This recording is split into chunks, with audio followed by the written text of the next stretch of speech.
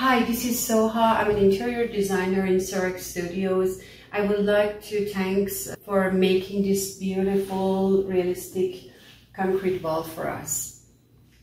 I'm Sherry and I was here on site when they were installing this wonderful wall. Um, as you can see, it looks and feels just like concrete. Uh, they did a wonderful job. They were very professional and they did everything on a timely manner. Um, I'd highly recommend them for any future job that you want done. And there's 450 different um, options to choose from, so concrete's not your only option.